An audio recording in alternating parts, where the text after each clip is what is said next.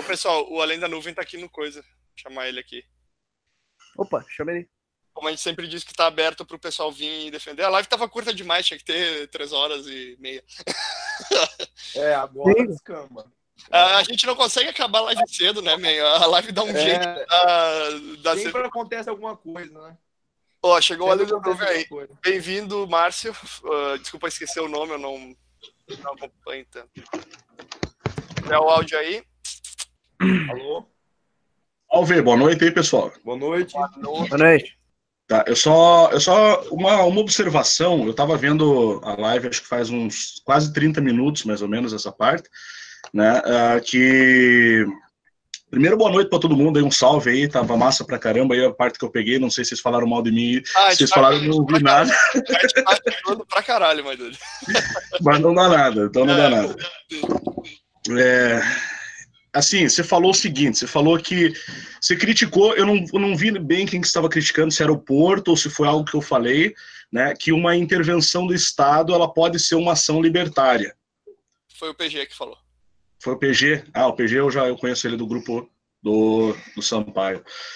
É o seguinte, a pergunta que eu tenho, ou a observação que eu tenho, né, eu, eu acredito que sim, uma intervenção, muitas vezes ela pode ser uma ação libertária, se você tem um poder que é maior que o Estado, se você tem uma corporação que ela tem um poder, uma influência maior que o próprio Estado, e para minar aquela dominação, aquela ação de dominação, porque aqui eu não estou falando a partir da ética da escola austríaca, tá? eu estou falando a partir de Pierre Proudhon, estou falando a partir do anarquismo ah, anterior à escola austríaca. Ah, Então, o de libertarianismo, então, tu tá falando. O libertarianismo. não, na verdade, assim, eu não vejo diferentes tipos de, de libertarianismo. Eu vejo evolução do libertarianismo. Eu vejo a evolução.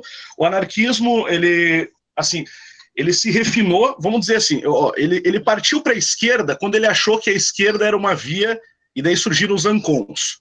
Primeiro veio o Pierre Proudhon, Pierre Proudhon não era revolucionário, e ele tinha uma mentalidade que era o seguinte, você é anarquista, você vai construir uma, uma sociedade anárquica, essa sociedade ela vai uh, tomando um corpo organicamente, vão surgir administrações, né?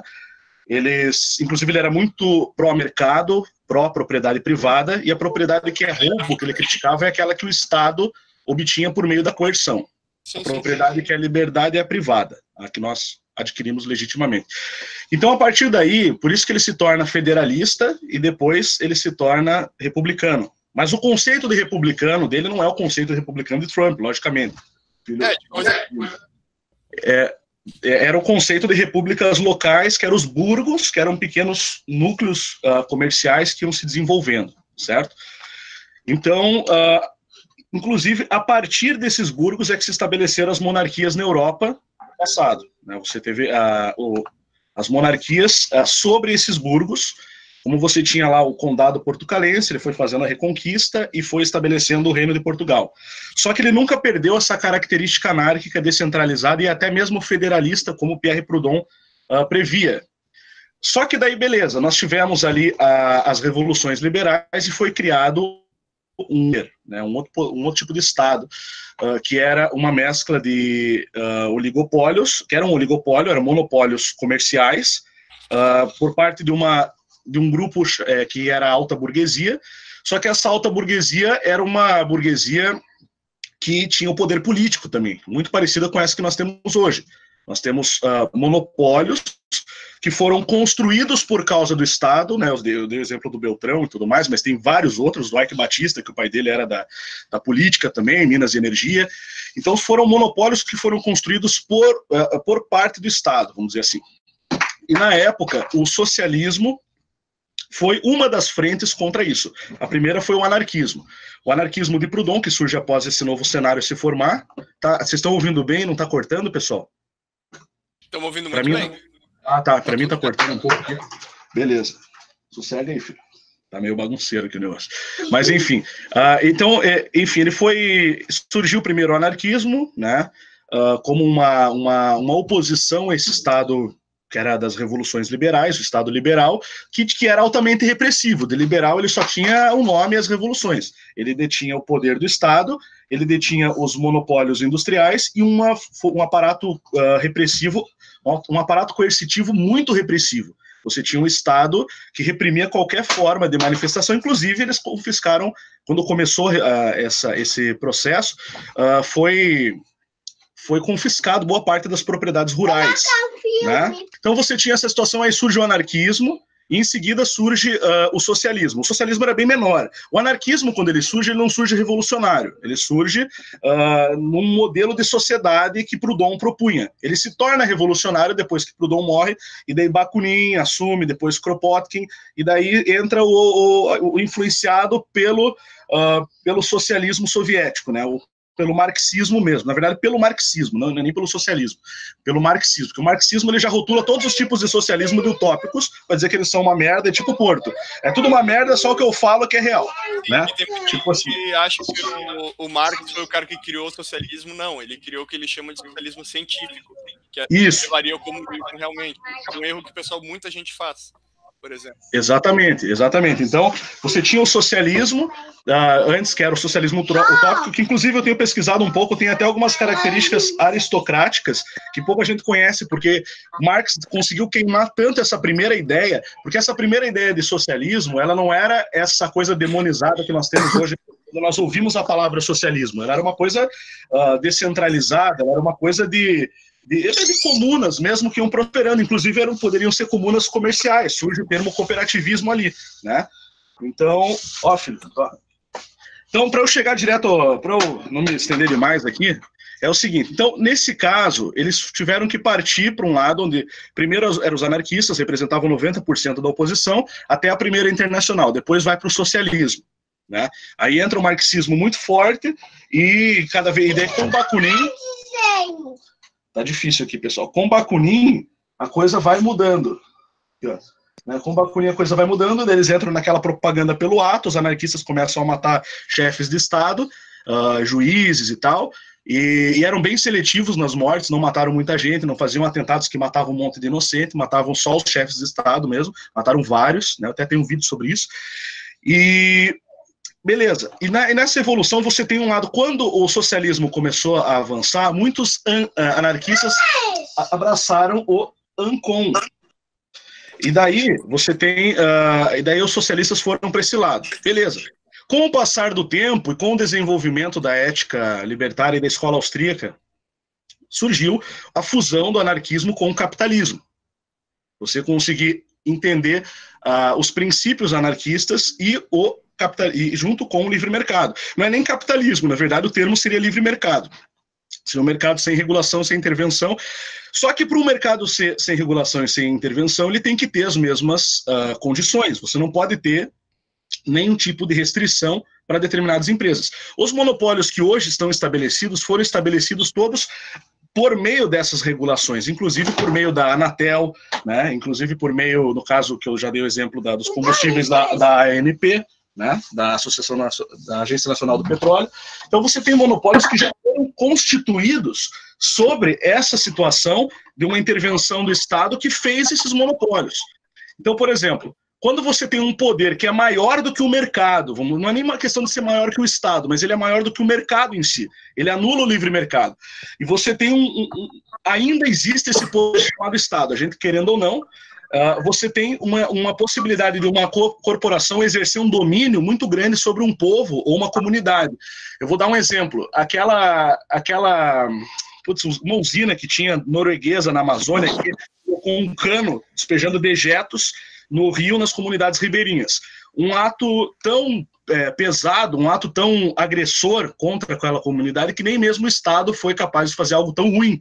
Então, quer dizer, a, o mal daquela corporação era um mal maior do que o Estado podia causar, né? Então, uh, quando o Estado vem intervir impedindo determinadas ações, determinadas arbitrariedades por parte de um poder maior do que o Estado, querendo ou não, e precisa ser reconhecido, o Estado está tendo uma atitude mais libertária do que aquele contexto anterior àquela intervenção. Ele, ele acabou rompendo com uma dominação por parte de uma corporação, que era uma dominação que nem mesmo o Estado estava praticando. Que é o exemplo que nós temos do YouTube, que nem mesmo o Estado estava praticando essa censura, e hoje a gente tem as corporações, o Facebook, o YouTube, praticando essa censura. Passa a bola aí, Fuera. Não, o ponto é o seguinte, ó. Uh, tu tá basicamente pegando e fazendo uma. Colocando assim de uma forma clara, tá fazendo uma analogia, né? Tu tem uma situação em que tu tem uma empresa que está violando propriedade privada, como tu falou dos caras da comunidade ribeirinha, e o Estado vai lá e impede essa violação de propriedade, que, por mais que o Estado seja um violador, ele vai lá e impede que essa violação ainda maior ocorra, né? Que pode levar até a uhum. morte dos outros. Daí tu faz depois um paralelo que como está havendo uma violação, uma suposta violação pelo YouTube, pelo, pelas corporações como Facebook e tudo mais, uh, o Estado possa, ele tem um escopo, digamos assim, ético para vir interferir nisso daqui e impedir com que essa censura ocorra. Seria esse o argumento, correto? Ele, tipo, sim. É, a censura ou qualquer forma de arbitrariedade, né? A gente pode colocar. Porque nesse caso, o poder que o YouTube tem é na, é na área da mídia, é na área da informação. Ele pode censurar a informação. Poderia ser numa, uma empresa que está distribuindo água, por exemplo. Ela poderia também impedir que determinados grupos recebessem aquela água, né? Só que teu argumento é em si uma, uma arbitrariedade dele mesmo. Porque a gente pegou e falou sobre exatamente isso daí lá no início da live, como tu disse, 80% do mercado se uma empresa pegar, sendo que o mercado é uma coisa completa, então tu vai ter que setorizar. Só que a setorização é em certo grau uma arbitrarização. Então daí basicamente tu escolhendo o que, que pode ter o tamanho do que, tu é só tu pegar e torcer os números suficientes para te colocar 80% alguma coisa. Então, digamos assim, que qualquer coisa tu pode colocar de uma maneira arbitrária dentro de 80% para dizer que eles estão agindo de uma maneira arbitrária. Daí tu pode colocar o Estado para intervir. Tá, é mas, mas, mas, a arbitrariedade em si, ela não é um problema. Porque se você precisa, por exemplo, desarticular uma propriedade que é ilegítima, que foi obtida por meio do roubo ou da fraude, você vai ter que usar uma ação arbitrária para desfazer aquela propriedade que na verdade é roubo, que não é propriedade, não é liberdade, né? Detalhe que o YouTube censurando não é algo que é uma violação de propriedade. O máximo que vai ser é uma violação de contrato do próprio YouTube quando tu assina os termos lá, mas se tu é tão chato quanto eu, tu lê os termos e sabe que o YouTube basicamente coloca uma cláusula que ele pode mudar os termos, unilateralmente. Sim, sim, sim, sim. Pra, e só para complementar isso da arbitrariedade, se o YouTube, ele é um... É, claro, hoje em dia a maioria, ou quase a totalidade das empresas gigantes tem algum, algum benefício do Estado, seja por lei, seja por financiamento. Ok. Tá. Então a gente, a gente conclui, ou pelo menos induz que o YouTube também tenha. Para articular algum tipo de punição em relação a isso, a gente tem que saber quanto foi tomado, quanto é proporcional de ser tomado de volta em relação ao quê. Não é uma questão tipo assim, é, é, ele cresceu por par parte. Ele é hoje em si 70% por conta do Estado. Então, a, a, parte equivalente a esse 70%, a gente pega, faz uma proporcionalidade dupla e traz de volta é, a tomada de propriedade, que seria uma. Seria uma. devolver para os donos originais, sabe? Só que em relação à, agressão.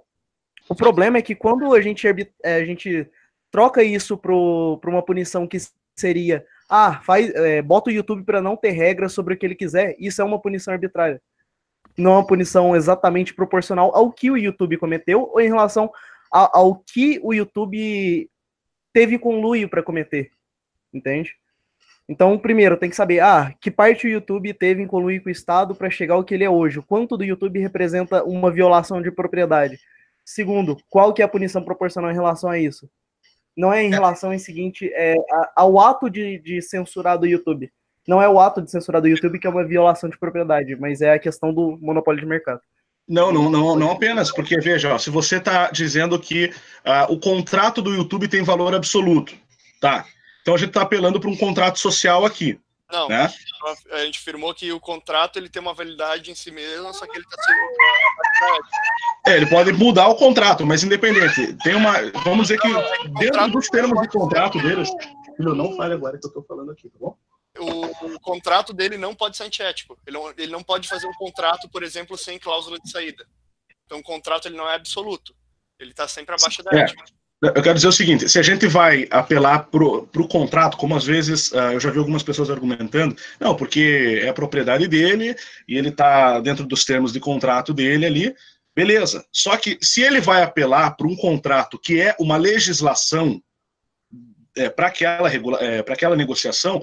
Então, isso dá o direito também do, da pessoa que está dentro da plataforma e está desenvolvendo um trabalho, porque o, o, o, trabalho do YouTube não é um trabalho que você faz na hora e começa a fazer vídeo. O trabalho que eu tenho, por exemplo, são dois anos postando vídeo todo dia, né?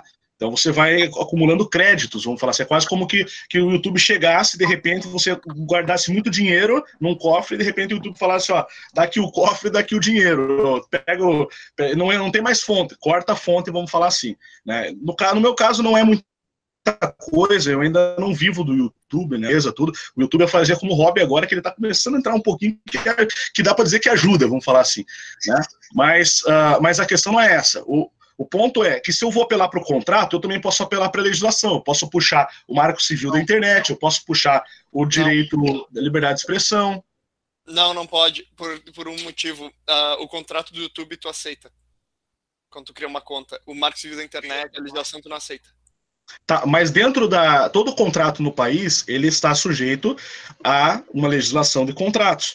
Existem é, leis, existem leis que dizem que se o contrato for é, é, uma. Um, eu não lembro o termo jurídico, porque eu não sou advogado, mas assim, se você está criando um contrato que é assim, pode ser considerado enganoso Inclusive, se foi justo ou não foi, né, não vou debater, não vou entrar no mérito da questão. Mas o Conde Lupé, ele perdeu o canal dele com 43 mil inscritos e ganhou na justiça. Depois de um ano de processo, ele conseguiu recuperar o canal e voltou com o canal né, uh, na justiça. Então, houve um embate judicial, foi apresentado argumentos e ele utilizou, eu suponho, deduzo que ele utilizou argumentos de que uh, aquela medida do YouTube era arbitrária e feria uh, sei lá, cláusulas pétreas uh, da Constituição que, que enfim, que dizem respeito ao valor de um contrato.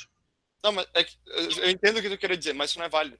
Por causa que é o seguinte, a legislação do governo não é a mesma coisa que um contrato. Um contrato, as duas partes consentiram. A legislação do não, governo. Tá, é, na ética libertária, sim, as duas partes consentiram. Só que aí a gente vai entrar naquela questão do monopólio. Você pode dizer, não, tudo bem, eu tenho um monopólio que se dane. Só que daí, a partir do momento que, que você tem essa realidade, eu tenho um monopólio que se dane, então essa corporação ela tem um poder de Estado, praticamente. Ela tem um poder de, de, de, de permitir ou não quem vai usufruir daqueles bens. E quando você tem uma sociedade baseada unicamente em, empresas, empresas né, em propriedades privadas, você vai começar a criar uma, uma sociedade com fortíssimo poder uh, de exclusão, de censura e de um nível que, que nem mesmo o Estado tinha, porque o Estado ele era submisso a um poder democrático, que, que é uma bosta, não estou dizendo que é bom, mas que pelo menos ele, ele pode impedir esse tipo de coisa de acontecer. Uma corporação, numa mesa de negociação, eles determinam. Vamos dizer que você tem uma corporação que, lá no futuro, você tem uma corporação que ela tem acesso aos as transações financeiras, as redes sociais, a chave do teu carro que você liga para andar, vamos dizer que, porque a tendência do mercado é sempre as grandes corporações irem comprando as menores. Então vai chegar, já, já é um conglomerado maior que detém o mercado. Hoje, nesse modelo que nós temos, talvez no modelo de livre é, mercado, é, não fosse hoje, assim. É que hoje a gente tem barreiras artificiais de entrada Sim. E, e tudo mais. E, e, tu tem o Estado, basicamente, tu consegue utilizar do Estado, que é um, uma sei lá, uma arma e tu pode ficar apontando para os concorrentes menores e para os teus competidores. Então daí tu tem essa centralização do mercado, não por causa que seja do mercado em si, é o, é o Estado ajudando, digamos assim, é. um, um, dos agentes do mercado a concentrar o mercado para si. Isso é errado. se você elimina o Estado da, da equação agora, o que, que acontece? Você já vai ter esses monopólios estabelecidos, você não vai ter um mercado é. começando do zero a zero, eles vai estar começando com uma empresa com... Eles querem... Tenta, você só vai abrir tu abrindo o mercado, esses monopólios quebram na hora, por causa que tu vai ter o pessoal competindo em cima deles. Sim, na teoria, beleza, mas numa, numa questão virtual como o Google, que já tem uma empresa altamente estruturada, que consegue já, já ter muito tempo minimizando custos. Não, ele dá prejuízo pro, pro Google. Ele já é mais que anunciado, dá prejuízo pro Google a maior parte das coisas que eles fazem no YouTube. É, eu, eu li o livro ah, da. Tem outra coisa tem, tem outra coisa, praticamente toda profissão, toda atuação de mercado tem alguma barreira de entrada. Vamos Sim. supor que algum profissional em um mercado específico qualquer genérico, mas com barreira de entrada, eles tornam uma maior parte do mercado gigantescamente, tendo ele parte em relação a essa regulação ou não. É, vamos supor que a gente não sabe, igual o YouTube, a gente não sabe o quanto do Google é, foi instigado a, a, fazer uma lei de monopólio, por exemplo. Não, não sei nem se, se, se o, o, Google é extremamente beneficiado, ou parcialmente beneficiado, ou pouco beneficiado. em relação a esse tipo de lei. Então, aí eu te pergunto, se alguém dentro de, dessa realidade de mercado é, parcialmente obstruído, ele cresceu o suficiente a ponto de se tornar quase um monopolista. É justo que eu tome desse cara, desse profissional em específico, dessa empresa em específico, parte da empresa dele e use ela ao meu bem, meu bel prazer, porque outra, porque o governo beneficiou ele, querendo ele ou não? Tem um problema aí que seria que tu teria que argumentar que tu é sim uma das vítimas dessa empresa ter crescido, então tu tem direito a parte dos recursos dessa empresa, então tu usa. Porque se tu simplesmente chegar e falar, não, não, eu sou o primeiro e eu sei que isso que usou errado, eu vou simplesmente chegar e me apropriar, daí tu simplesmente está se apropriando de um bem que foi roubado, sendo que o bem não era teu a princípio. Então tu ainda é, mas... tem propriedade sobre aquilo. Quase todos os então. monopólios então... hoje são, são roubados. Quase todos os monopólios hoje não teriam, não existiriam sem a ajuda do Estado. Você, você, se você desarticular o Estado hoje, você ainda parte desse princípio. Você já parte. É, tudo bem, sem agências nacional de regulação, o que, que ia acontecer? Sem o Bolsonaro banindo importação do Paraguai, contrabando, como ele fez agora, a gente poderia estar tá comprando coisa e vendendo mais barato que o shopping, que é a loja da esquina. Você poderia estar tá trazendo gasolina da Venezuela, que é mais barato, e vendendo aqui. Gás de cozinha da Bolívia e vendendo aqui. E daí quebrava o Beltrão, por exemplo. Então, tá, a gente entrava competindo. Não, então tu concorda comigo que eu te falei antes que se tu tem uma liberação comprada do mercado pela digamos assim, de solução abrupta, vamos colocar, do Estado, os monopólios, ou pode ser uma solução com o tempo, os monopólios se quebram, porque eles não vão ter tempo para se adaptar a um mercado externo que é muito mais eficiente que ele, comparando que. Tipo, se o país já é fechado, tá tendo monopólio, tem um país lá fora que é um pouco mais eficiente, no momento que esse país abrir, aquele outro entra. Daí... Eu acho que bens físicos, sim.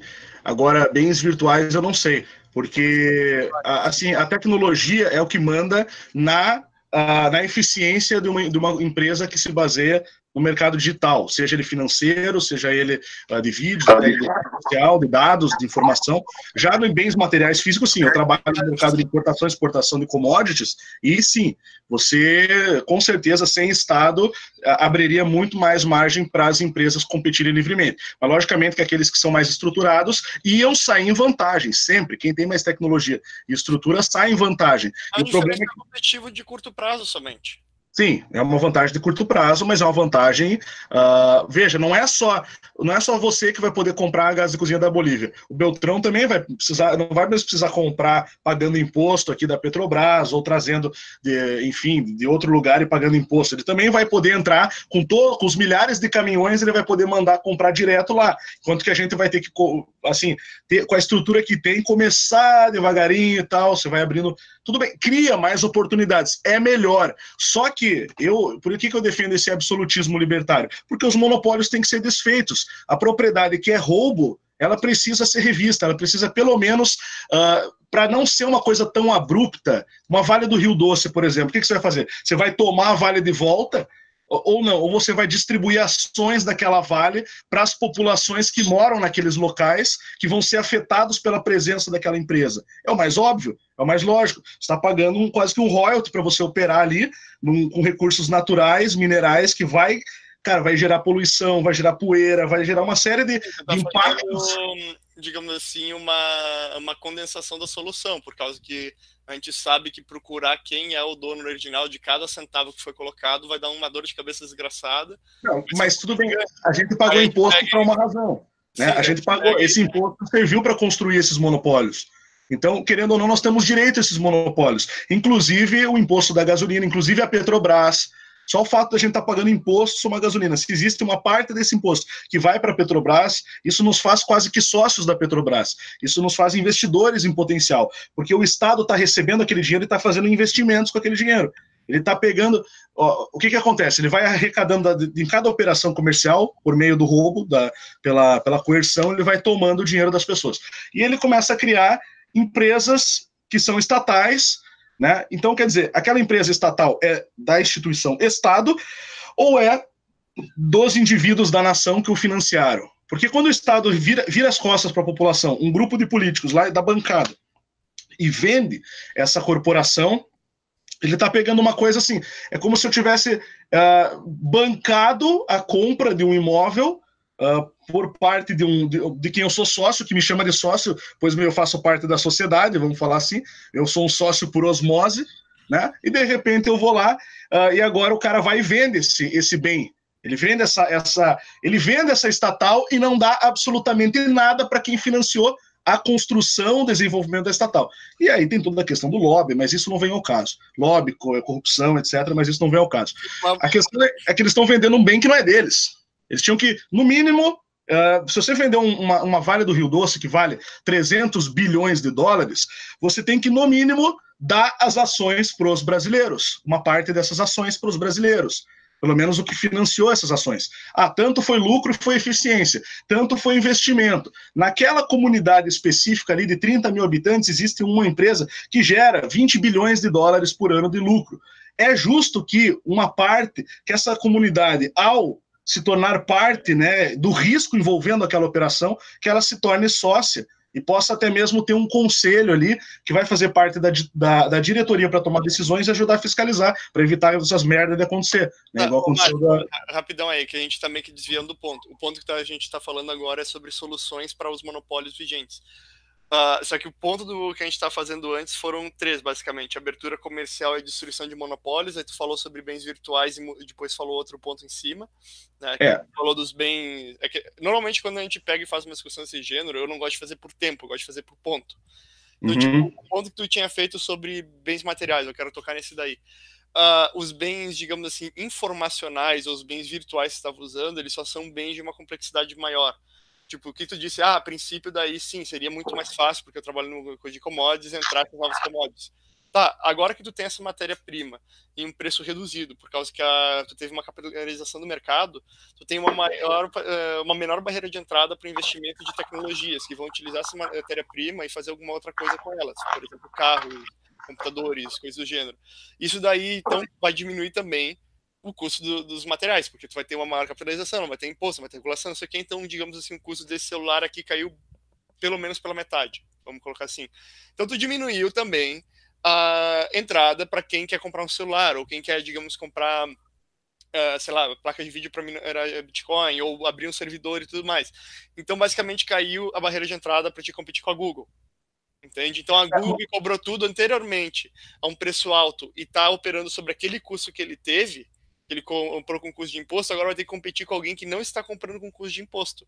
Sabe? É, mas ele também vai poder comprar sem o custo de imposto. Mas com a tá vantagem. Uma infraestrutura é. dele que já foi paga, que ele está tendo que cumprir o custo dela. A infraestrutura é, já pode, ou, ela já foi paga ou ele está pagando. Mas o fato é que ela vai ter. Ela tem um custo, só que ao mesmo tempo, por que, que o.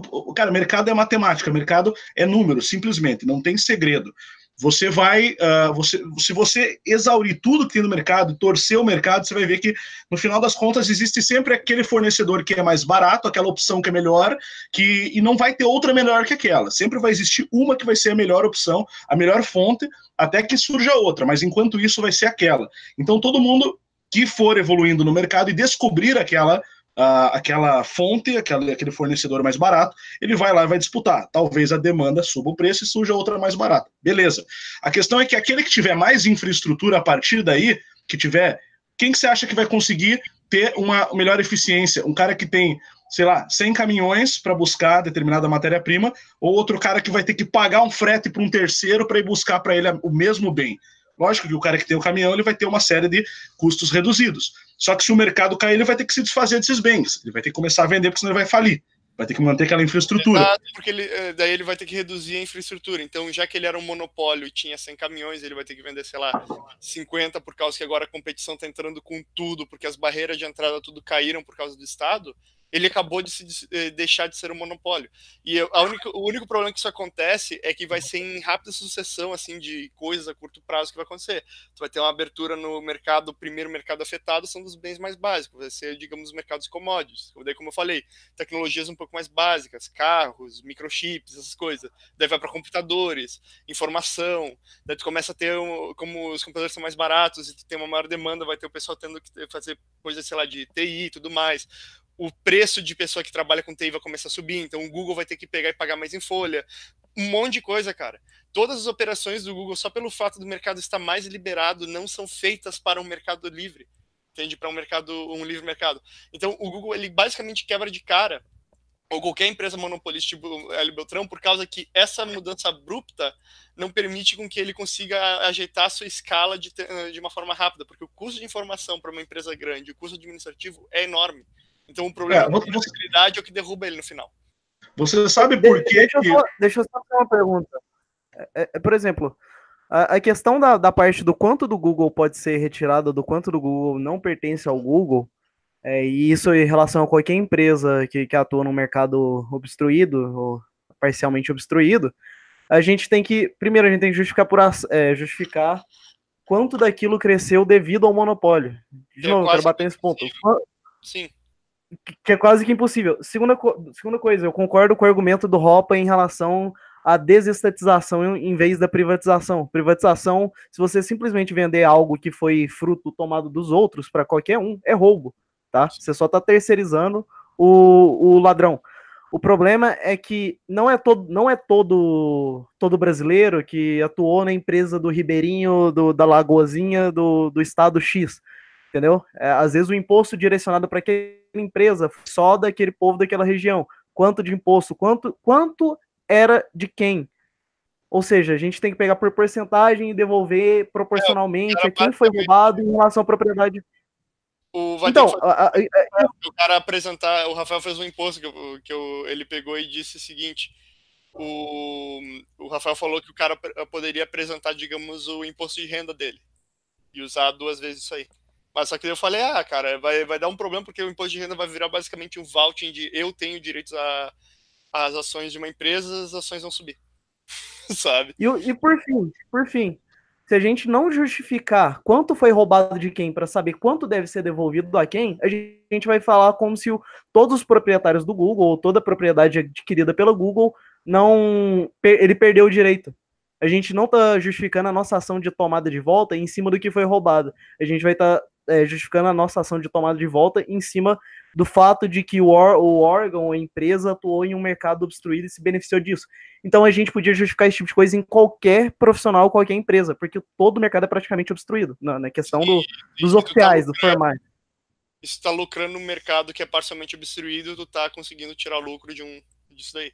E daí tu pode pegar e jogar esse argumento contra qualquer pessoa, até mesmo um pipoqueiro. Contra, exatamente. E aí, ou, ou, seja, se a gente não justificar, é, justificar dessa forma, a gente vai falar que o cara simplesmente perdeu o direito, que é uma coisa errada, e que qualquer coisa pode ser tomada dele sem nenhuma proporcionalidade. É, para mim é esse o ponto. Ah, esse ponto aí eu acho que já está morto a tempo. O detalhe que o que a gente estava falando aqui era sobre outras questões mais, digamos, consequencialistas. Mas é que o ponto para mim está claro. Uh, tu não consegue pegar e dizer o seguinte: o Google, uh, o YouTube censurou porque não foi censura, uh, ou que qualquer coisa que ele fez nesse âmbito aqui, que foi que tu criticou o Rafael, seja uma violação de propriedade. Porque tu pode dizer que tipo, ah, mas a propriedade, sei lá, dos servidores não era dele. Ah, tudo bem. Só que as regras que tu pegou e entrou e concordou ainda estão em vigor, porque tu concordou com elas. Entende? Não é uma questão de tu pegar e falar, ah, mas tem regras do Estado. Essas tu não concorda um, uma legislação e um contrato não são a mesma coisa, isso é uma diferença gigante, tem que ser levada em conta.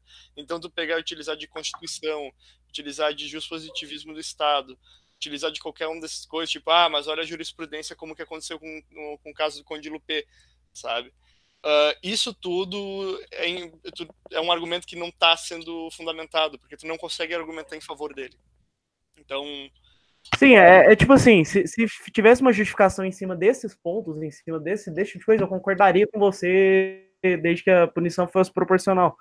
O problema é que o, o argumento do vídeo que a gente atacou em si, que a gente ficou até um pouco meio pistola, foi que o, o argumento girou em, em, foi em parte do, da Constituição, outra parte do Marco Civil da Internet, e outra parte simplesmente da fatia de mercado. Sim, e, tipo, e não, não, é necessariamente tudo roubo. E baseando que a censura, é, entre aspas, né, censura contratual, que o YouTube é, tem esse espaço, fez um contrato com todos os usuários que estão aqui dentro, né? Não tem ninguém que não tem que apertar o Vzinho lá para entrar no coisa. E se tu apertou aquilo lá, tu tá concordando, só para avisar. Uh, e dá um empurrando É, tu não pode simplesmente dizer que essas interações não foram voluntárias. Tu não consegue dizer. Pode dizer que tem um problema com a estrutura do YouTube, mas tu não consegue usar o contrato do YouTube contra ele nesse caso, a não ser que tenha uma fraude no contrato, mas o que eu acho difícil, porque o YouTube ele tem uma cláusula para que ele possa arbitrar sobre o conteúdo dentro do canal dele. Tanto até que um dos conteúdos que tu não pode ter no canal, no, no, no teu canal, é pornografia. Só que eu não tô vendo ninguém reclamando disso daí. Dizendo que o YouTube tá, sei lá, ah, ele censura pornografia, a gente tem que deixar pornografia no YouTube de novo. Até agora não vi ninguém sabe? Então, se for para ser consistente que não pode censurar nada, o YouTube ele tem que se abrir e competir. Só que daí o YouTube deixa. Se o YouTube entrar no mercado de pornografia, ele já deixa de ser monopólio na hora. Existe tanto site pornô que tu vai perder a conta, sabe? Sim, é, de, de, fato. Uh, mas eu, eu acredito o seguinte, eu continuo pensando que uma vez que o YouTube ele é um meio, ele, ele é um mercado, vamos falar assim. Ele é o mercado de distribuição de vídeos, praticamente. Você tem o Twitch, você tem o Dailymotion, você tem o Vimeo, você tem outros menores, mas que são uma parcela muito pequena. Uh, dentro desse contexto, dentro desse contexto, de, dessa situação que nós temos aqui de uh, desse cenário, como se o YouTube fosse um mundo, vamos dizer que você aquele seriado Black Mirror, tudo acontece pelo pela tela. O YouTube é esse universo, vamos falar assim. Dentro desse universo, o YouTube legisla arbitrariamente, se ele quiser. E é isso que ele está fazendo, mudando as regras, né? Mas é que tu concordou com isso. Mas quando é, o YouTube foi, na época, ah, na época que eu vacinei o contrato, tudo bem, ele disse que ele pode mudar os termos de contrato, mas ele deixa muito claro que quais são os tipos de conteúdo que violam as diretrizes da comunidade. Primeiro. Mas ele pode mudar o contrato. Então ele pode mudar é. os tipos de conteúdo. Isso daí já está previsto em contrato. Então, vamos dizer que ninguém pudesse ter acesso à comida, vamos falar assim, então, vamos mudar o produto, vamos mudar o item, não é mais fazer vídeos. Ninguém pudesse ter acesso à comida e você tivesse uma empresa que tivesse 80% do mercado de comida, e daí você aceita comer lá, é, enfim, é, se submeter a determinadas condições ali para você ter comida. E por alguma razão, por causa de uma agência nacional da comida, aquela empresa de comida ali, ela pôde distribuir comida para as pessoas por muito tempo e se consolidou ali como líder daquele mercado. Não, não, não, não, calma, calma. Mas, mas foi o Estado que fez isso com o YouTube?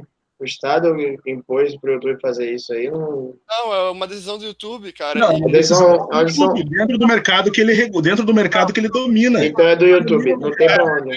Márcio, tu tá fazendo um change in the goalpost. É. Não, peraí, peraí, vamos, vamos concluir o raciocínio. Tá, e daí aquela empresa da distribuição de comida fala, peraí, não, agora a regra mudou, agora para você, antes para você conseguir sua comida, você tinha que chegar aqui tal hora e fazer tal coisa e você poderia ter acesso a essa comida. Agora não, agora você tem que uh, chegar aqui usando sapato alto, você tem que fazer o dobro das coisas, senão você não tem mais direito ao acesso e que foda-se, eu tenho 80% do mercado de comida, se não quer, você vai lá na, na daqui a 100 quilômetros tem um Dailymotion lá. Cara, é, por mais que eles tenham um contrato que os proteja nessa situação, é uma situação passível de questionamento.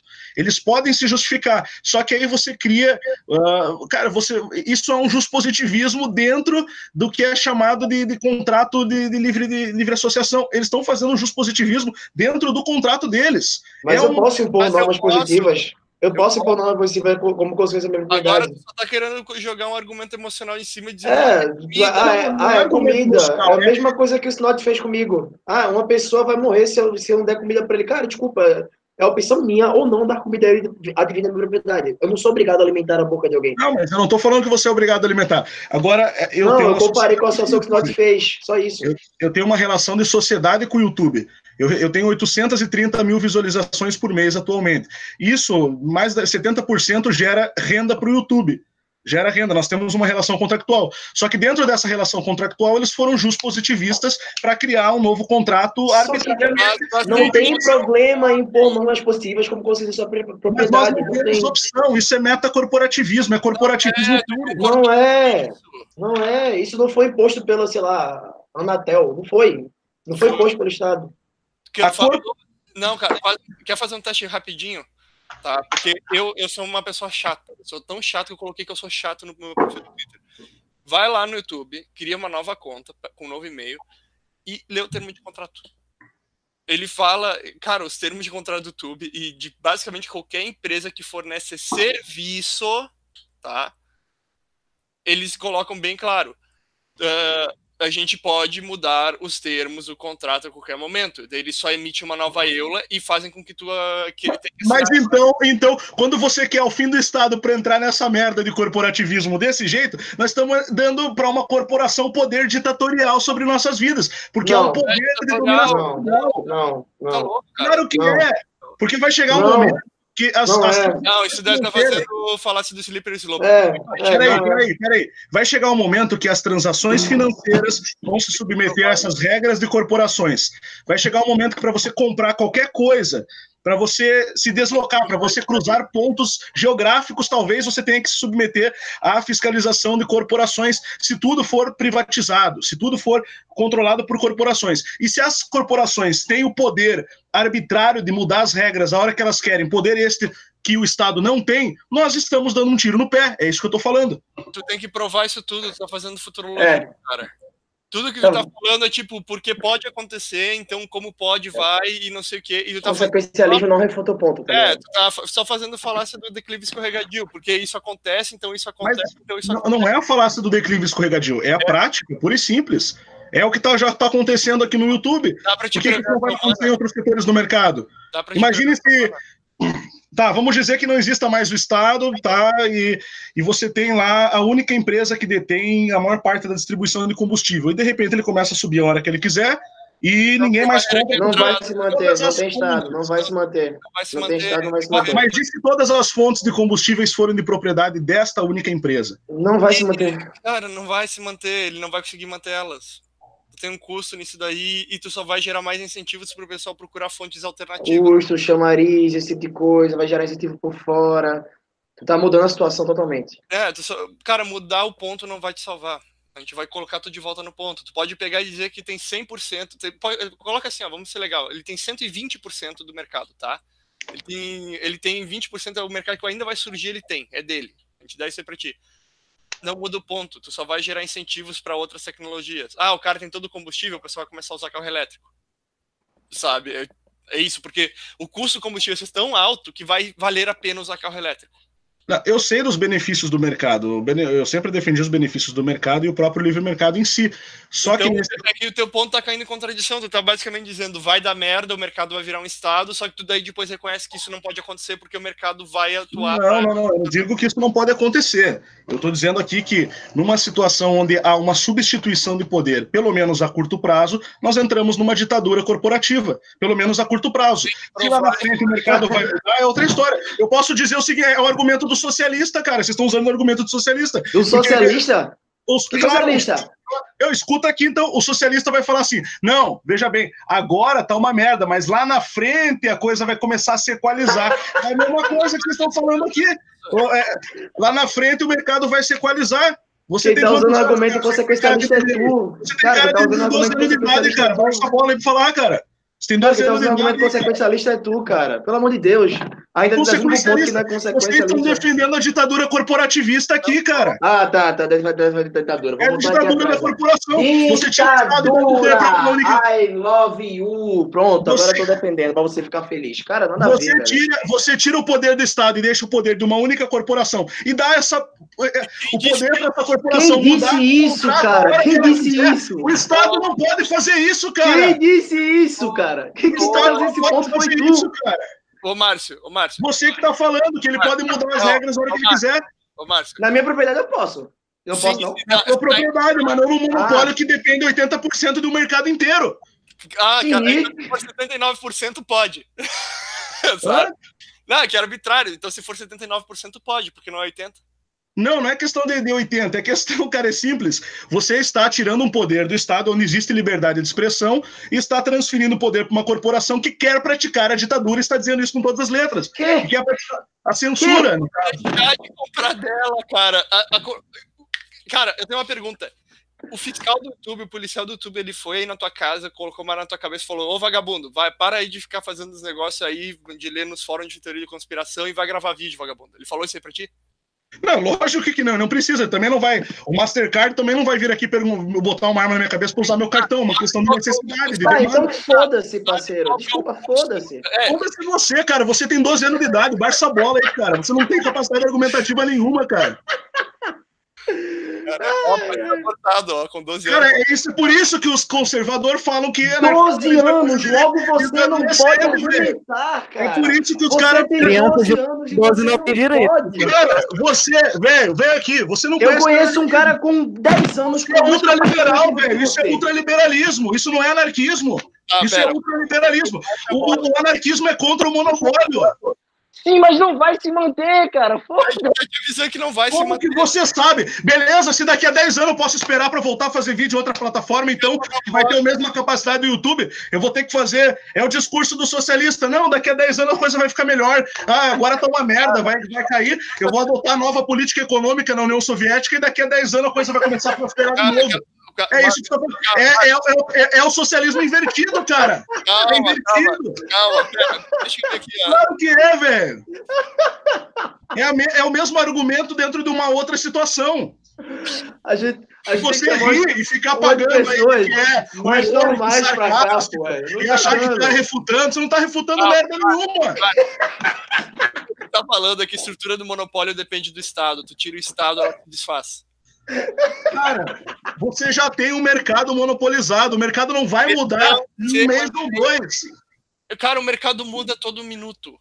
Todo minuto, eu sei, eu invisto, cara, no mercado, no mercado financeiro. Então, eu sei aplicar em derivativos, tá, tá? ô, Derivativos do para, dólar. Para, para de entrar em contradição. Então, o mercado, ele ou muda a cada minuto, ele não muda a cada minuto. Porque tu falou que ele não vai mudar ainda em um mês. Ele muda ou não muda? Ainda Ele- que eu falei que era 10 anos, tá ligado? Ah, não, pegar... O mercado, ele, ele vai mudando conforme o mercado. Ah, Só tá. que nessa situação que nós temos hoje, vocês estão dando a legalidade para o YouTube Peraí, censurar debaixo do Estado com monopólio. Hoje, hoje, agora o exemplo era que a gente tinha acabado o Estado. Agora o exemplo mudou e virou para a situação de hoje.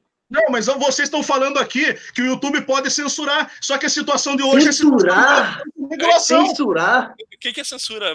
Ah, o YouTube pode arbitrariamente mudar as regras do contrato quanto ele quiser. Ele Beleza. colocou contrato que tu aceitou. Ele colocou isso por causa do contrato. cara, o, o mero fato de tu ter uma conta no YouTube e um canal, tu já aceitou que ele pode fazer isso. Tu chegou Não Pois é. existe outra opção. Não existe outra opção que Existe, forneça existe. o mesmo nenhum, Não tem nenhum, a nenhum, Porra! nenhum É site. serviço, é a mesma qualidade. Não, Não, é. existe nenhum site. Achei pro- problema, cara. Não é a existe mesma qualidade. não existe, não existe Minds, não existe Twitter, não existe Facebook, que ainda também compete com ele, porque tu pode colocar vídeo Não existe Facebook. sinal de fumaça.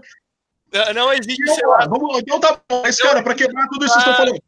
Se eu, se eu aceitei um contrato que pode ser juspositivado a hora que o YouTube quiser, eu também posso apelar a uma gis- legislação que juspositive, que use o juspositivismo sobre o juspositivismo contratual dele. Não, não, que? por causa, não, por causa que um é imposto o outro não é, cara.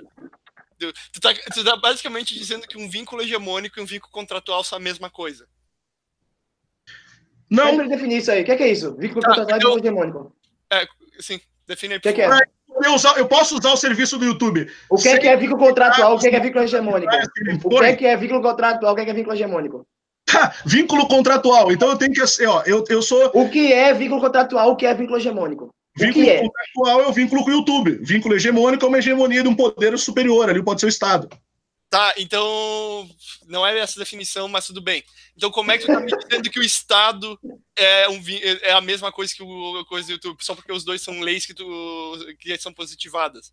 Sendo que um é imposto e o outro é contratual, o outro é aceito. Como é que tu tá dizendo que daí tu pode usar o, o hegemônico em cima do contratual porque tanto vale porque é positivista? Não é, não são a mesma coisa. Tu não pode fazer esse argumento. Não, eles não são a mesma coisa, logicamente, mas o YouTube, se eu quiser usar o YouTube para eu poder aderir àquele, à- àquele serviço, que é um serviço gratuito, diga-se de passagem, eu tenho que me submeter àquele contrato. Beleza, me submeto ao contrato. Aí, só que o contrato tem umas letras pequenininhas ali que dizem que, pô, eu posso mudar a hora que eu quiser. Tu leu o contrato? Do YouTube? Tu leu? Eu Quando li. eu fiz, não, eu fui ler bem depois. Ah, pois é, né? Aí, olha então só, tá né? o Olha só. problema, Olha só o problema. Alguém, Olha só, uma né, cara? que não leu o contrato e reclama do contrato que não leu. Esse é não, o mas não importa, cara. Quem- leu o contrato. Não importa, não importa. Tu Não. acordou, está numa situação que tem nas regras, não Não, importa. Tu vende a tua casa, Da, não, tu vende a tua casa, daí tu ganha, sei lá, 400 mil reais, daí quando o cara vai pegar a tua casa, tu fica, oh, mas tô me roubando a minha casa, eu não vendi, eu só queria ganhar 400 mil reais, daí eu, daí eu fiz um troço chamado hipoteca, sabe? Numa, numa, mas eu não li o contrato. Cara, tu não pode apelar a ignorância para um contrato que tu assinou. Porque quando tu assina o contrato... Não, claro, não, logicamente, você tá assinando tal, beleza, você aceita os termos, os termos dizem que eles não, podem mudar. De fato, acabou o ponto. nós temos o direito de reclamar, e acabou nós podemos reclamar, pode reclamar, ninguém tá falando isso que não pode reclamar. Pode, você pode apelar um poder maior. Você vai ah, ter que apelar um poder maior. Não, não, não, não, não Eu posso apelar um poder maior. E você pode dizer que não sou libertário por causa disso. Não, importa. Essa corporação, essa corporação, ela está exercendo um poder arbitrário que nem mesmo o Estado exerce. O, poder, o que eu estou dizendo é o seguinte, beleza, tá? Eu entendo a ética libertária, eu entendo a argumentação libertária, e o que vocês estão falando está correto dentro da ética libertária. Tá, tá, tá, então, tá, então beleza, cadê? Ponto. Tá correto, fundamental só, que tem, só que as consequências disso são ah, nefastas. Consequências, de novo. São nefastas. Pode ser um argumento consequencialista, não importa. Mas as consequências são não nefastas. Importa. Tem que tomar não, não importa, cara. Porque a vida é cheia de consequências. Consequência você tem 16 importa. anos, cara. Você tem 16 anos, você não sabe as consequências. Aumentou 4 anos a minha idade. Eu tenho 34 anos, tenho dois filhos, e eu sei que a vida tem consequências. A vida tá não é feita de teoria. A vida é feita Beleza. de consequências. Não, mas olha aqui, ó. Eu tenho, eu tenho, eu tenho 27 anos, quatro filhos, vários livros e um cachorro. Então quer dizer que eu tô na, na, na escala assim de vida. Não, isso não, não é essa questão. O ponto ah, é que a vida ah, tem consequência. o quê? Por que tá falando isso? Porque tem consequência. Sim, é, a consequência é o quê? E eu estou dizendo que a consequência dessa situação é perigosa, é nefasta. Nós estamos perigosa. transferindo poder para megacorporações. Corporações que foram construídas com o, com o Estado. Sem o Estado, elas não teriam monopólio. Simplesmente assim, cara. Tá, a gente vai defender o Estado? Não. É, Sei lá, não, a dele aí. É sócio do Estado. Calma, calma, Márcio, tu, tá, tu por acaso pegou e saiu com o Porto hoje, porque eu tô vendo que tu tá argumentando sozinho, porque tu tá respondendo os pontos que a gente não fez. Não, pois peraí. É. Quando que a gente defendeu Estado e corporação aqui dentro? Não, você está dizendo que a corporação ela pode fazer isso porque está no contrato da corporação. Não, a gente está falando que tu entrou num contrato. A gente está falando que ela, ela não pode chegar, digamos assim, ó, vamos supor, tu tem, sei lá, o primo do Randall que não tem canal no YouTube. Daí o, o YouTube chega lá e fala que ele não pode postar no Vimeo alguma coisa ligada com conspiração. Isso ele não pode fazer, ele não tem um contrato para isso. Agora, o Randall, se o Randall falar lá que, sei lá, pássaros são drones ou coisa do gênero, sabe? Ele chega a colocar isso aí no canal dele, YouTube, e ele tá no canal do YouTube e ele concordou, porque o mero fato desse canal do YouTube dele existir já demonstra que ele pegou e aceitou o contrato, e o contrato fala, eu li e aceito o contrato. Só para avisar. Então tu já cometeu uma fraude aí, só para te avisar rapidão, porque tu não deu. Uh, o YouTube ele pode chegar lá e arbitrar em cima disso, porque o Randall já concordou, então vai dizer, ah, mas e aí se ele quiser mudar o contrato, não sei o que, tu já concordou que ele tem a permissão de mudar o contrato. Ah, e se eu não gostar? Tu faz uma coisa muito mágica que se chama deletar canal. Tu deleta o canal, oh, mas eu já investi tempo. Cara, tu fez um mau investimento, tu achou que era uma coisa, mas era outra, tu não prestou atenção. É. E, ó, no dia que uma corporação fizer a mesma coisa, com a sua capacidade de comprar e vender, com a sua capacidade, capacidade de pagar um Uber de, ou de, de dirigir seu carro, Aí eu quero ver, porque hoje é um vídeo no YouTube, amanhã vai ser a transação financeira. Cara, tá? tá, existe o Bitcoin, eu já uso o Bitcoin, então não estou me preocupando com isso.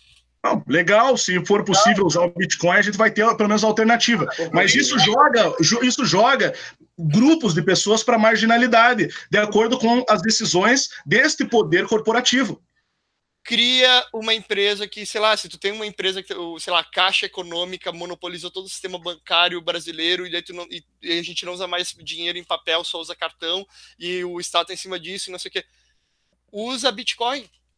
É não, ah, legal, mas... cara, só que isso tudo exige uma transição. Todo... Uma, o custo de tu se manter é alto.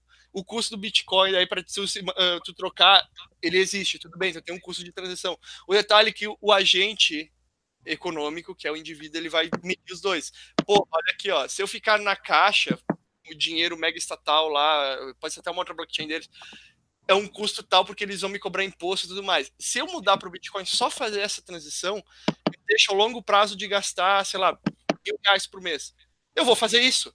Daí o que, que acontece? Tu pode ainda baixar essa barreira de entrada com empresas, porque elas diminuem o custo informacional e administrativo oferecendo uma coisa mágica chamada o quê? Serviço. Se o serviço dela for menor do que tu tem que fazer por isso mesmo, né, a comparação de valor, tu vai usar isso aí.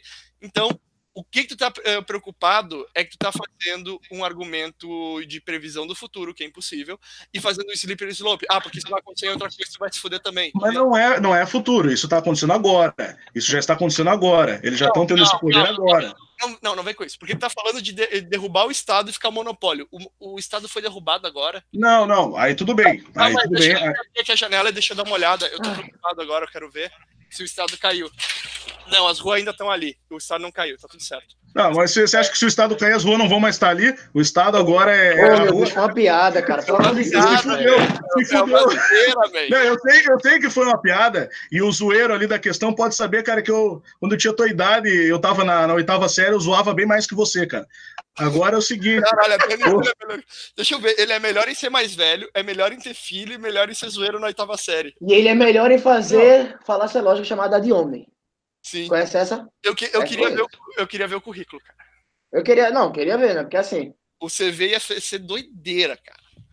Cara, tu tem mais algum ponto que seja, sei lá. Cara, eu, eu tenho um último aqui, na real.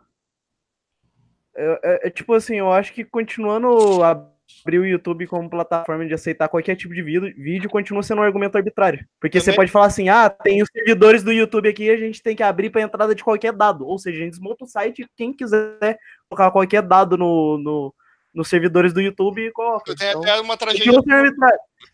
Tu tem até uma tragédia comuns, porque daí agora os vídeos do Além da Nuvem vão ter que vão, não vão ter tanto espaço por causa que vai ter gente colocando, sei lá, muçulmano degolando os outros, pornografia, não sei o quê. E, cara, isso aí vai alocar o espaço do, dos servidores do YouTube também. Então daí vai ficar mais caro para o YouTube rodar as operações dele e manter os vídeos do senhor Márcio ali. Tem que lembrar disso daí, existem custos. Isso daí não é uma coisa, é um argumento consequencialista. A gente está falando uma coisa lógica. Se está abrindo isso daí e obrigando ele a não poder mudar os termos do contrato, ele vai, basicamente vai ter que oferecer serviço de armazenamento gratuito. É, para mim, a parte ética, eu fico naquela da proporcionalidade e fatia. Fora Sim, isso, aí tem problema. O detalhe é que a gente está entrando no outro argumento simplesmente por, digamos assim, entretenimento aqui. Sabe? Vamos, ah, vamos uh. ter o pensamento aqui, vamos ver. Não, deixa eu falar uma coisa, Randall, né, não liga aí, cara, me desculpe as brincadeiras aí. Eu fico, fiquei meio puto porque você tá ah, você, zoando você muito. putinho, pode ficar de boa. Você tá zoando muito aí, cara, pra, pra tua idade. Não, sei lá, sei lá, não, sei lá o que o cara tem comigo, velho. E o pior, e o pior é que eu tava falando de boa, porque eu tô, sei lá, eu tô, eu tô doente, eu já, o PG foi essa eu mais você sabe. Não, eu até assisti um e... vídeo teu hoje, eu não conhecia teu canal, achei bom teu vídeo. Não, não, é, sei lá, só um negócio aqui, eu vou aproveitar fazendo desabafo. Meu irmão, que porra que a galera tem que quando sou eu que falo, o nego se traveste a mente, pronto, fudeu, Randall, não vou ficar puto. Sei lá, eu falei o bagulho mó de boa com aquele hostage lá no, no Santo Speak, o moleque endoidou, falou que era de homem. Agora fez uma pergunta, o cara, cara, tu tem 12 anos.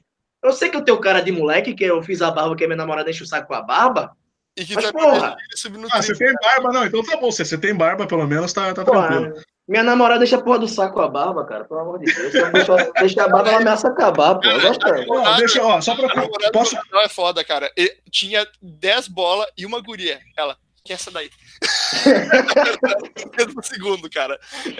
Não é mentira, não, essa barba. Ah, deixa eu só concluir, então, minha participação. Eu, eu entendo que, uh, pela ética libertária, pela questão do livre mercado em si, é lógico, a empresa ela está oferecendo o serviço dela, você aceitou o contrato, se eles quiserem mudar a regra por, pelas regras que você aceitou, você se fudeu e ponto.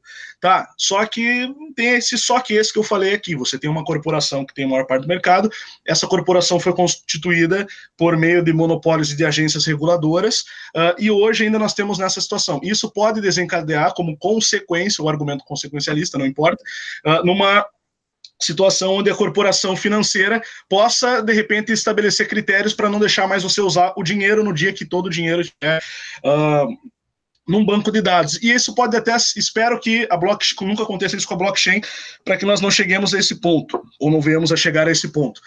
Mas, uh, de fato, sim, existe esse, esse problema porque você tem as corporações, as corporações têm poderes, uh, em alguns setores da economia, elas têm poderes tão grandes quanto poder estatal, vamos falar assim, não necessariamente um, um, poder de te colocar na cadeia, mas o teu, um poder de te impedir, às vezes, de, de, obter uma água ou de obter você o direito de colocar um vídeo de, sobre terra plana no YouTube. Não importa. Tá? Eles estão cerceando uh, o seu direito ali, enfim, uh, e tudo bem. É, se a gente aceitar como ser humano que isso é uma coisa legítima, é uma revisão de valores. Nós estamos transferindo para uma corporação privada o direito de estabelecer arbitrariedades, dominações e ditaduras privadas. Não tá. Não tá, por causa que tu tá em termos contratuais. Essa é a diferença. Tu não tá tendo uma imposição. Mas e se você não tem opção nenhuma na vida? Você tem que viver lá no deserto e tomando água do cactus, ou você aceita os termos do contrato? Tá postulando isso, tu tá basicamente dizendo o seguinte, vai ser impossível para ter uma concorrência. Esse é o teu ponto. Tu tem que provar que vai ser impossível. E a gente já te provou que é possível ter concorrência. O único teu argumento é que, tipo, é que no curto prazo pode acontecer. Tá, mostra que vai. Tipo, no curto prazo pode cair um meteoro amanhã e matar todo mundo, a gente tá aqui perdendo tempo sabe? Lembrando, lembrando, lembrando que isso aí é outra situação totalmente diferente, totalmente dissonante. O ponto é, ah, mas como ficaria a relação das corporações crescerem em relação a esse tipo de coisa? O Benjamin explicou ah, o que elas cresceram em detrimento de outras pessoas de forma hegemônica, de forma não contratual, unilateral, basicamente. Ah, isso aí tem como, sei lá, é bem difícil a gente se rastrear, não sei o quê, blá, blá, blá, blá, mas as pessoas que tiveram isso aí têm, sim, direito a esse tipo de coisa. Aí só que isso aí é outra situação totalmente diferente da, da dessa aqui que a gente que a, que a live levantou. O, o, ponto é esse, são outras situações diferentes. Ah, beleza, mas aí ah, quando já acabar com você, ah, massa, isso aqui legal, beleza, legal. pode correr.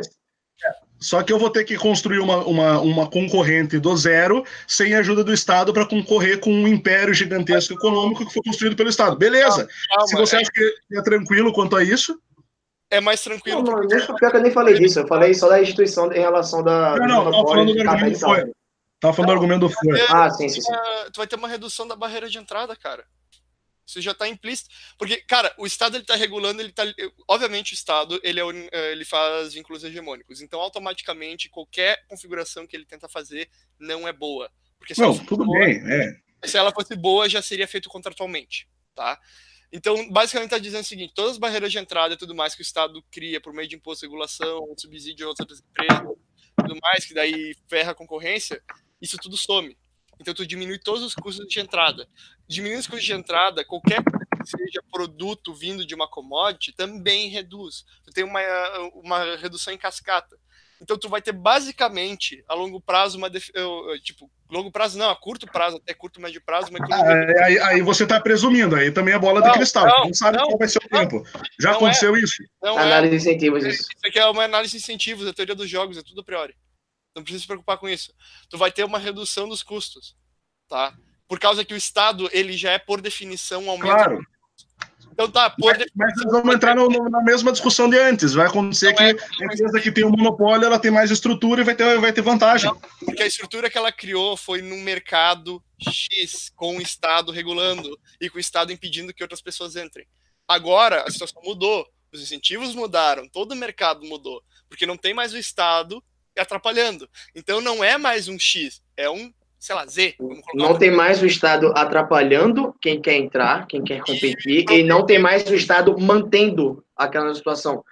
Uh, detalhe que, obviamente, isso aqui é uma coisa que eu tenho quase certeza que ninguém vai concordar, que ninguém vai discordar aqui, tenho quase certeza, espero que não apareça nenhum lunático no chat, que na hora que o Estado some, já, já tem uma barreira de entrada que seria o custo, basicamente. Sim, o custo, o custo burocrático custo burocrático já, já impede as barreiras institucionais que tinham custado impedindo a barreira para a galera entrar no mercado e já tira as barreiras institucionais também que estavam mantendo a galera naquela situação. Ou seja, foi custo operacional, coisa financeira real, já gera incentivo para a galera investir, fora que a, a empresa que está lá está recebendo muito, muito dinheiro, que no, no, no caso está numa situação de cartel ou monopólio antes, basicamente uh, se torna, vai se tornar um chamariz.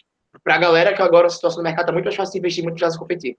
E, tipo, uma empresa, vamos colocar que tu gosta de falar da Beltrão, que recebe subsídio do Estado, né? E basicamente uma defesa lá grande, ele vai ter que. BNDES investiu é, bastante na empresa dele, diga mas... mas sim, ele tá ganhando bolsa empresário. Esse Beltrão é nojento, velho. Concordo contigo. E a gente já falou sobre isso no WhatsApp, eu concordo contigo. tu acha que esse cara vai se manter sem receber bolsinha do, do, do BNDES? Eu duvido. Hum. Ele, cara, se ele tá precisando de muleta estatal, já tá foda. Sabe? Então, tipo, tu tá basicamente. O, o Facebook é outro exemplo, cara. Que é um site mais mal programado que o Facebook. É, olha que tu já tá tirando, cara. Fonte de renda do BNDES. Basicamente, bolsa empresário para não falir. E tem Eike Batista da vida que fale. Tu tá tirando custo de entrada, de todos os negócios. Agora tu não precisa esperar mais tantos meses para abrir uma empresa. Tu está tirando custo tributário. Tu está colocando nas empresas monopolistas que são grandes um custo gigante de adaptação para o novo mercado, porque ele vai ter que rever toda a folha, vai ter que rever tudo. Tu está gerando uma economia deflacionária porque está tirando esses custos, então a produção se mantém. E supondo que basicamente a moeda é o que tem, o pessoal pegou ouro, coisa do gênero, vai ter sendo, vai estar tá sendo mais coisa produzida, os preços vão cair, vai ter uma uma economia com maior deflação. Isso tudo aqui é sistema de incentivos. Eu não estou pegando e dizendo um argumento empírico, tá? Só estou baseando em, em, questões de incentivos e teoria dos jogos. Uh, a priorística, universidades necessárias, pode ressaltar. Exato. Uh, daí o problema que tu pode dizer é que vem um fator que impeça disso acontecer, mas é só um, é uma questão de um fator, ceteris probantes, vai, uh, isso acontece. Uh, quer dizer, dado que nada, nenhum outro fator está mudando. Uh, colocado isso aí, tu tem uma espiral deflacionária, que foi feito pelo Google virou do avesso. Ele está investindo para o longo prazo pela inflação, porque ele recebe primeiro, vamos colocar assim, o grupo Ultra seria isso aí, por causa que a gente vive numa economia inflacionária, né, que é a brasileira em 10% ao ano, se não mais, porque 10% que falam, a gente já mudou para uma deflacionária. Então, todos esses investimentos dos monopolistas vão ser ruins, tá?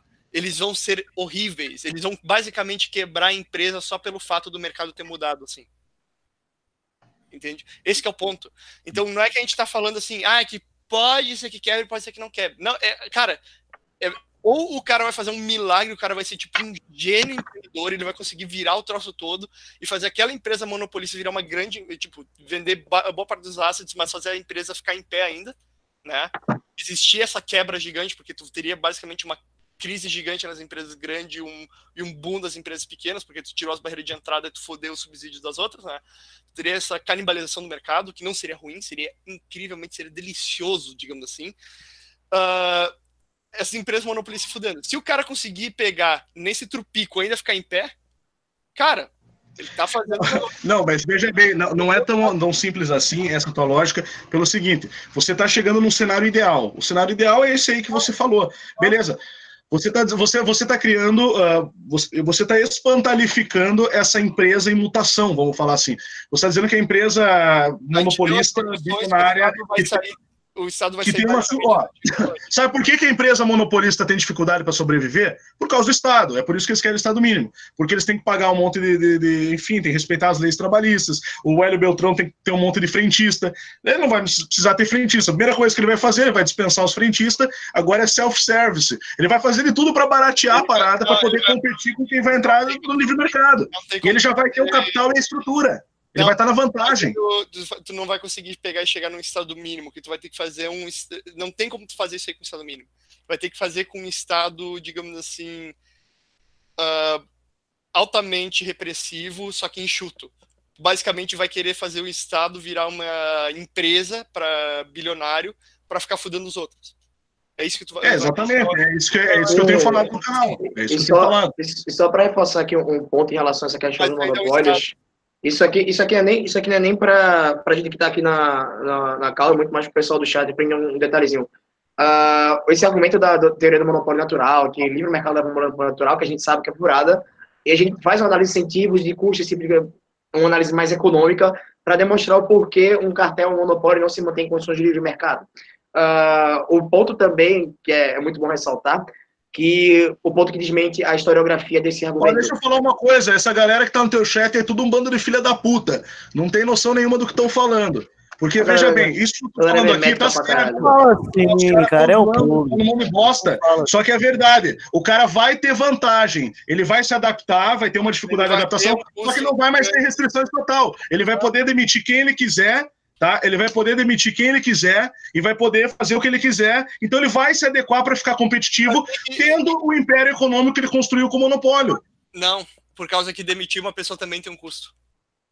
Vai não ter... vai ter custo mais, não tem mais regulação estatal. Não, calma, calma, eu não tô falando de custo estatal. Tu simplesmente, quando tu demite alguém da tua empresa, tu tem um problema que é o que, que aquela pessoa fazia, como ela interagia dentro da empresa, que são custos que tu também não consegue prever pela forma que os indivíduos interagem dentro de uma estrutura. Tu tirando o indivíduo, pode pensar, ah, se eu tô tirando o cara, eu vou pagar menos salário. Mas esse cara, talvez, ele ajudava outras pessoas a desempenhar a função. E daí, depois, a, a produção total cai, não só por causa desse cara saindo, mas por causa que a forma que ele trabalhava afetava as outras. Tu muda uma pessoa porque tu tirou, sei lá, metade do quadro, e daí ficou o resto, tu vai sobrecarregar esse cara. Esse cara aqui, eles vão estar tá numa economia deflacionária. Eles provavelmente vão ter alguma poupança ou coisa do gênero, ou uma oferta de emprego melhor. Por causa, como eu disse, com essa baixa da matéria-prima, tu vai tendo. E mais gente entra no mercado, mais gente daí, entra no mercado. Exato. E daí o, o que, que acontece? O preço do salário sobe. Isso basicamente vai acontecer. As vantagens são maravilhosas, por isso que eu defendi o anarcocapitalismo, porque eu via a leitura desse cenário, fazia a leitura desse cenário e é perfeito. Uh, o, problema, o, o problema justamente é essa transição uh, quando você começa a dar o poder para as empresas antes do, enfim, antes do Estado cair, e você, e você vai sim manter essas empresas em vantagem. Eles vão largar vantagem, isso é nítido. Sabe, uma empresa pequena vai ter que concorrer com uma empresa gigante. Não, não, não, porque todos os recursos dela, ah, tipo, 80% dos recursos dela, vamos colocar assim, já vão estar investidos no cenário X Entendeu? E tu mudou o cenário para Y. É basicamente o cenário contrário, que eles não conseguem mais fazer. Eles perderam basicamente boa parte dos recursos deles. Vão ter que liquidar a empresa para poder se manter. Ah, é, é, basicamente o ponto que eu queria levantar agora, que eu estava falando antes, que o, o, o, belo costume, o senso comum, digamos assim, das pessoas é usar um, um tipo de argumento historicista. Já cansei de falar porque, porque ele não tem valor epistêmico. Que é basicamente, olha só, no, no passado o livre mercado gerou monopólios e cartéis, logo se houver uh, livre mercado vai gerar monopólios e cartéis. Primeiro, essa estrutura de argumento ela não gera valor epistêmico, porque ela é historicista. Como se já teve a PIF, ele submeteu um método epistêmico que não condiz com essa área do conhecimento. E, detalhe, não, não existe uma evidência de monopólio e situação de livre mercado que deu certo. Na verdade, é o contrário. Existe pontos que floparam. Que, na verdade, essas empresas que floparam recorreram ao Estado para manter a situação delas. Um exemplo é que o Rafael dá no vídeo que ele fala sobre o a galera lá da, da, família Morgan, que é do Banco Britânico Morgan lá. Eu acho que, não, não sei se é o Pierre, Point Morgan ou o JP Morgan lá nos Estados Unidos, que teve uma época que ele tentou cartelizar boa parte do mercado do, do aço nos Estados Unidos. JP e... Morgan, o pessoal começou até a vender ação, uh, começou a abrir empresa para ficar vendendo para ele. Daí ele descobriu e parou de fazer. Pronto, e, e, sabe, sabe o que foi engraçado? Eles tentaram, uh, eles chegaram a cartelizar, comprar, fazer um, um colui, uma corporação das pessoas do, na época lá do mercado do aço, que chegou a abocanhar 80% do mercado naquela época, ou seja, 80% das empresas que compram o mercado se tornaram uma só. O ponto é que, pós essa fusão deles, eles começaram a lucrar 12% do que lucravam antes da fusão. O mais engraçado é isso. A tentativa de manter um argumento historicista que ele sequer tem valor epistêmico é derrubada até mesmo pela historiografia do argumento que não existe. Sei lá, se uh, você vê isso aí um, em algum livro, alguma coisa assim, pode apontar que é fraude intelectual a historiografia está mentindo. Você pode fazer uma análise praxeológica lá. Oi, pode falar. Mas o exemplo que você deu não, não existe realmente. Não tem como. O, é, você disse da pessoa afirmar que uh, o monopólio se constituiu a partir do livre mercado. Não, muito pelo contrário. Os monopólios que foram instituídos sempre foram por causa da formação de oligopólios, desde as revoluções liberais. Se for na história, não foi o livre mercado que proporcionou o monopólio, mas sim a intervenção do Estado. Sim, é, eu estou falando, o ponto é justamente esse. E, tipo, a galera usa essa, esse negócio, eu só tô, tô dando um exemplo aqui para demonstrar que a historiografia, ou seja, a história do argumento tá errada. Na verdade, justamente o contrário do que tu falou agora, tá ligado? E, além do mais, que é o ponto que eu já toquei várias vezes aqui no canal do Furry, no meu canal, inclusive tem um, um vídeo daqueles antigos formatos que o Furry fazia, bem no começo do canal dele, que eu fiz um, pro canal do Furry, era, na época o com a ideia de doar vídeo pro canal dele que eu passei esse vídeo aí falando sobre a invalidade, a nulidade epistêmica do, do argumento historicista. Ele não gera conhecimento por motivos dele. Eu conservador e eu usei justamente esse argumento, que o pessoal ficou tipo, cara, vamos, vamos fazer esse argumento aí melhor, fazer ele mais fundamentado. Daí eu falei, ah, dou o vídeo pro meu canal que eu divulgo Escola Libertária, que era o projeto que o Randall tava. Mas tu, tu, pegar e somar, digamos assim, passados para achar um futuro é inválido. Vale, é segunda lei de É, Mas é isso, galera. Então, só para concluir aí minha participação, agradeço aí a todos aí que, pelo, pelo espaço, né? Não? Foi intenso. Aqui não tem censura, não se preocupe. Tá, foi intenso, é, exatamente. E, mas no YouTube tem censura, é um problema, uma censura corporativa. Pode dizer que não é, mas é, é uma censura corporativa dentro de um contrato que eu assinei que eles mudam quando que eles quiserem. Eu não tinha opção de escolher outro porque era a melhor plataforma que dominava todo o mercado. Mas beleza, tudo bem, eu aceitei, me fudi, só que eu não concordo uh, ô, Márcio, só deixando claro, tá me devendo uma, porque tu acabou de criar um meme novo no meu canal. Já tava farto dos memes, já tem meme da Sarrada, tem meme do Baiano e o meme do Calvo. Agora virou o Baiano Calvo 12 anos. Agora fudeu. ah, Caramba, falando, além da cocaína, ali, além do caralho, qual é LSD. Ué, essa fase já passou, cara. A gente já zoou o Baiano aí porque ele é calvo. Aí ele chega e fala que é calvinista, cara. Calvinista, 12 anos, puta que pariu. 12 anos, sim. Não, agora, ó, para ser inscrito no meu canal, a regra é tem que ter 36 anos, quatro filhos e um saltinho, senão não, não pode. o PG tá fora já. Um salto ele não bate a altura. tem que ter um Celta. Se não tiver um Celta, tem que ser preto ainda. Só pra avisar. Celtinha é foda. Tem que ter um Celtinha, assim, ó. Não, o Randall usou o PG com coisa que ele é muito alto também, né? Pô, 10 centímetros a mais é muita coisa, na minha opinião, velho. Dependendo de onde é que for, esses 10 é, centímetros. 10 centímetros a mais com um anão. Dependendo do setor que tu compara, já tá é. tá valendo, mas. Eu dizer que eu comparo os dois setores só ganhando. Não, então só aqui, para finalizar, vocês já conhecem o Randall, o PG, o Bot, né? Uh, o Além da Nuvem conversou comigo umas vezes, até o motivo dele ter o meu número e tudo mais foi por causa que a gente falou uma vez do Porto. Eu agradeço o Além da Nuvem por ter participado. A gente falou de ti na live, tu falou que queria participar. Está sempre aberto nossos hangouts para alguém participar. E... Por coincidência, eu nem vi que ia estar tá rolando a live, sabia? Eu vi lá, Foera, tava, eu tô inscrito. Aí eu entrei pra assistir, daí vi os caras falando isso aqui do Além da Lua, falei, porra, daí voltei um pouquinho, né? Aí... Ah, a gente zoou bastante, mas normal, cara. Na, nossas lives tem um grau de. Cara, a gente tava zoando o bot, ia fechar a live e a gente deixou tu entrar. Então, não, mas... porra, eu, eu não vou reclamar, bicho. Eu, falo, eu já falei de terra plana pra caralho no canal. Eu vou reclamar que vão me zoar, velho. Se eu fosse preocupar, se eu fosse me preocupar com o zoeiro, eu não ia falar de terra plana, não ia falar de, Sim. enfim, de nova ordem mundial. Eu ia ficar falando de economia. E outra, eu domino umas paradas de economia interessantes, tava até pensando em falar. Mas não, vou ficar, né? Posso não concordar com algumas coisas. O raciocínio está correto, mas Uh, sabe aquela coisa de você soltar, você ir soltando? Eu penso que, que essa, essa transição ela tem que ser feita bem estratégica. Só isso, assim, né? Para evitar algumas injustiças e arbitrariedades que podem acontecer até que o livre mercado tome conta. Mas, logicamente, que se o YouTube me censurar, eu vou fazer um site, vou entrar em outras redes sociais e vou buscar outras maneiras de alcançar o público, que já está acompanhando o canal Além da Nuvem, para que a gente possa difundir as informações aí para a galera ficar zoando depois, porque não entende. Que tu vai guardar os vídeos? Vai ser além além da nuvem? Pois é, uma boa pergunta, cara. Vai ser além da nuvem. Estou decidindo ainda. Não pode guardar na nuvem, vai ser além da nuvem. Onde é que tu vai guardar? Agora, agora, agora é, pergunta que o clã não. É que nós temos, a gente tem uma tecnologia aí que ainda não é conhecida aí, que está tá sendo escondida. Tá nas pirâmides? não, Ô, mas você já viu? Naquela, naquelas já viu perto de Cuba ainda.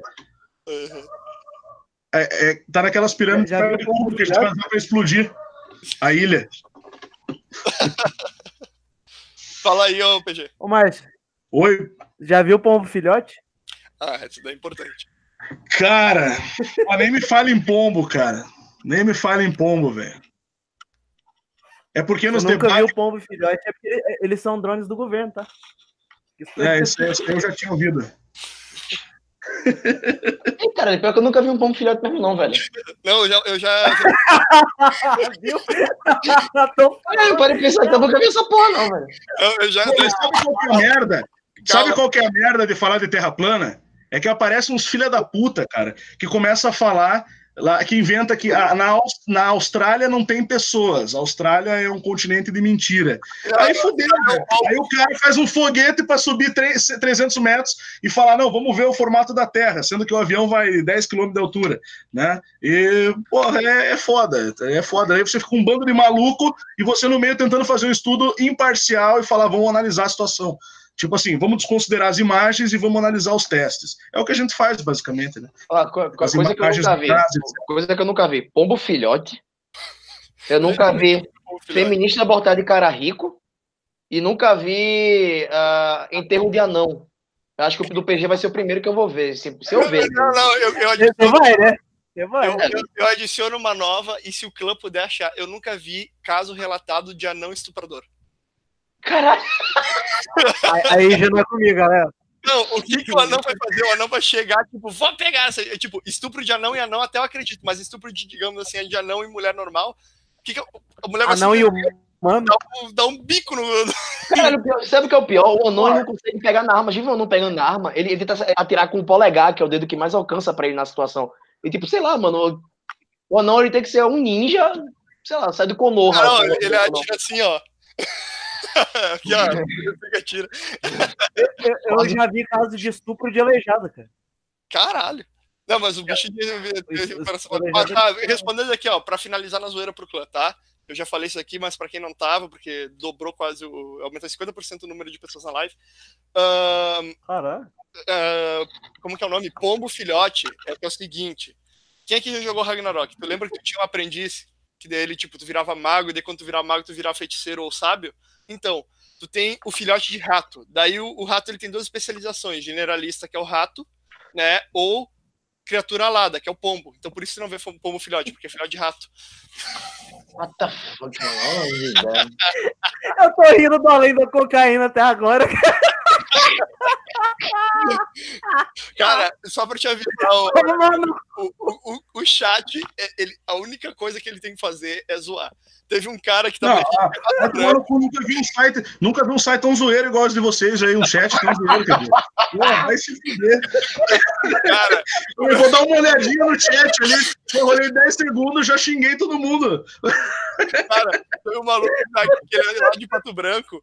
E daí, tipo, tava ele andando de noite na rua e os caras começaram. Daí chega dois caras numa moto, sabe? falou que eu tava na biqueira. Então, estão me marcando num bagulho ali, além do sêmen, pelo amor de Deus. O pessoal, pe- o, o pessoal pedindo pra ele pegar e comprar droga sem nota, se não me engano, tava falando uma hora, sabe? Tipo, pra sonegar as, as coisas. Não, cara. Mas eu vou desligar aqui o- a transmissão, tudo bem? Tá, depois a gente vê Essa deu um pergunta pro... Daí a gente pergunta pro Ideias Radicais quem que ganhou o debate. tá bom. Pera, pera, mas se ele decidir, não seria arbitrário? É. É, então, não pode. Ah, pergunta, pede pro YouTube decidir, então. Ah, é, a gente assinou o contrato, pode ter ele, então. Isso ele pode arbitrar. Olha só que estamos em choque. Tá, eu vou fechar aqui a live. Valeu a participação de todo mundo. Muito obrigado, Márcio, por ter eu aparecido. só falar uma coisa pra galera do chat aí, ó. Se tiver alguém com fome aí, ó, só pra avisar aí, ó, peguei pizza aí, seus cuzão aí, só pra vocês ficarem com fome aí também. Ficar me zoando aí. Pior que, o pior que eu acabei de comer uma pizza do caralho comemorando que eu cheguei a mil inscritos, parceiro. Eu tô, eu tô em choque. Massa. A, a hora que essa foi a melhor live, pô. Acho que eu- Ah, isso aqui foi com certeza a, a que a gente teve mais zoeira, porque a gente sempre Ontem, ontem eu fiz mil. Fiz mil inscritos ontem. em um dia também. Tô brincando. Ah, olha, é, é como o pessoal diz, né? tipo, não conseguia te ouvir pelo som do dinheiro caindo na minha carteira.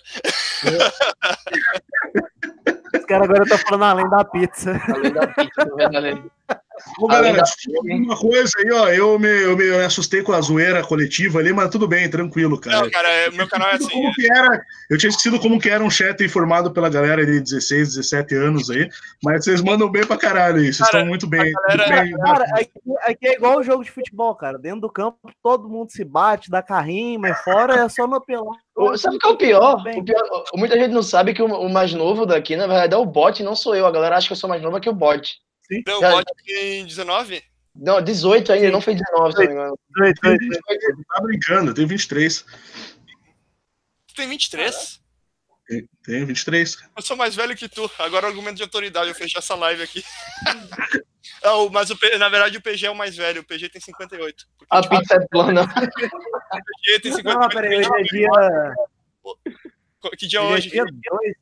É, dia Hoje 2. é dia 2. Eu fiz 31 anos. Acho que eu tô com. Acho que eu tô com 52 anos hoje. 52. É que a gente comemora o aniversário do PG todo dia. Ah, falando nisso, vamos finalizar a live dando parabéns pro PG. Deem parabéns aí pro PG. Ah, Parabéns, chat. Vai lá. Ó, dá parabéns pro PG aí, Clãzinho. Obrigado. Hoje é um dia muito importante, diferente de todos os outros. Muito noite. É, é um dia novo. Tá. Parabéns aí, PG. Até mais aí pro clã. Tchau, Até tchau. mais, galera. Tchau, tchau. E aí, clã? Aqui é sua voz da consciência. Estou lhe avisando para dar like, se inscrever no canal e mandar para os seus amigos. E aí, clã? Aqui é sua voz da zoeira. Se você não gostou do vídeo, dê dislike, se inscreva no canal para boicotar e mande para os seus amigos para fazer o mesmo.